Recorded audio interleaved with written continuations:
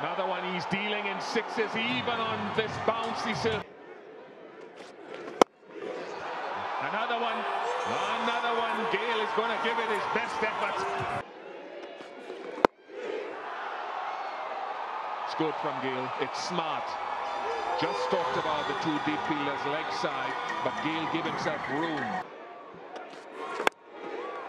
And fine leg would have stopped that, but he's not there anymore.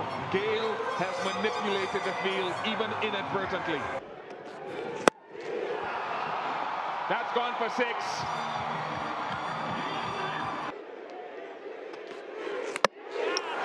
Gets his revenge. Big smile from uh, Mark Wood.